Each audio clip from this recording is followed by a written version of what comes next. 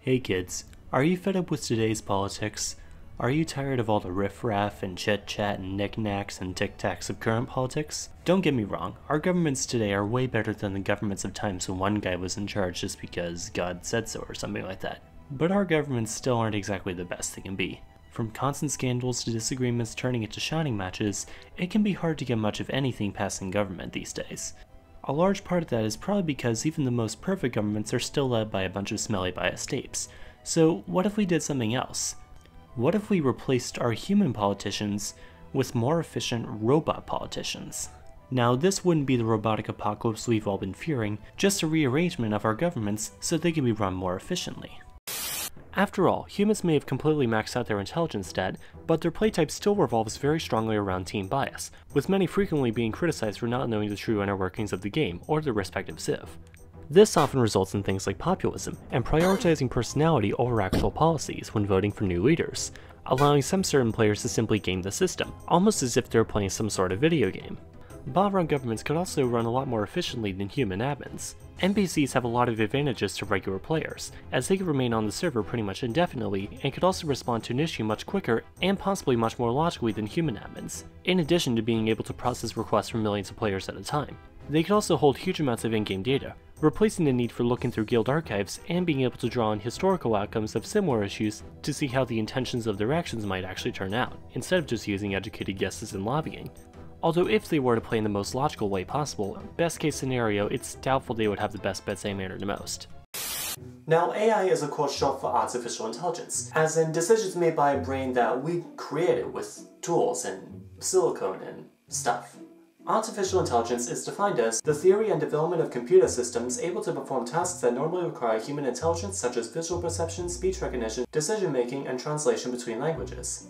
Now, government is also defined as the governing body of a nation, state, or community. The word government stems from the word govern, which itself comes from the French gouverner, which itself came from the Latin gubernare, meaning to rule or to steer, which itself came from the Greek word kubernao, meaning to steer. So what history is basically saying is that government is basically just the people in charge of driving the country. What a strange coincidence. But running the government doesn't just involve making new laws and signing new treaties with other countries, it also involves filing paperwork a lot of paperwork. After all, your government's what's in charge of issuing your passport, issuing your birth certificate, managing your access to healthcare, and issuing licenses and permits. So, would it make more sense, in the meantime, to simply automate government bureaucracy? Well, computers can be used to do everything from prescribing medications to processing legal information and trials. Unlike running the government, tasks like these all involve a huge amount of paperwork that would be a lot for a human to achieve on their own. In fact, most of it is just sifting through records and paperwork, which a human can easily do on their own, but it would take a while at best. I mean, say you wanted to find a particular word amongst a huge wall of text. You could either search for it yourself, or you could just press Command F and let the computer do the work for you. In fact, by the middle of the century, a computer could simulate 1 billion human brains, meaning that they could easily manage the government. But we don't have to go from 100% human politicians to 100% robot politicians overnight. It would just be easier at first to let the robots take over government bureaucracy and give us humans a break. So maybe we don't have to give our power and authority over to the machines. At least, not yet. There are still some problems with that though. For one, the US federal government alone hires 2 million people, which isn't even including those who work for organizations like USPS and the military. This could lead to some outrage from federal employees worried about losing said jobs. I mean, we all saw what happened when the government recently shut down. However, whenever the workers try to protest against technology being implemented to replace them for less, the onward march of technology usually wins. For example, in the 19th century, many English textile workers, known as Luddites, banded together to smash the machines that were coming to replace them in the factories. Were they successful? Maybe. If their goal was to get arrested and shipped off to Australia, that is. The point is, people don't like it when machines, or anyone for that matter, come to take their jobs. So the real question with implementing automated politicians is not if the computers can do the work of politicians, but if our current politicians will let them. And if history can tell us something else here, the answer is no. But will they always have that choice?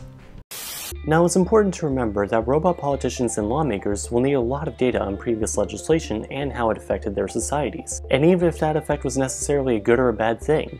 Take Brexit as an example. In the original referendum back in 2016, 52% of voters voted for the UK to leave the European Union, whereas 48% voted for the UK to stay in the European Union.